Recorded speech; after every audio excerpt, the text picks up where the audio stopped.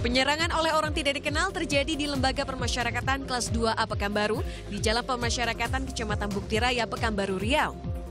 Rentetan tembakan terjadi pada minggu dini hari.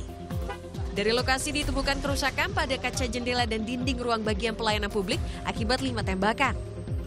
Polisi juga menemukan dua selongsong peluru dan pecahan proyektil.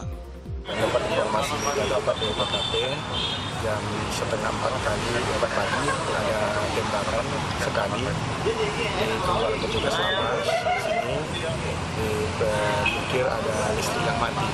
Kemudian mereka untuk kembali setengah jam berikutnya ada rentetan tembakan peluru empat kali. Motif dari penyerangan ini diduga terkait jaringan narkoba. Sementara itu, guna mengungkap pelaku penyerangan, polisi akan memeriksa kamera pengawas yang terpasang di depan lapas.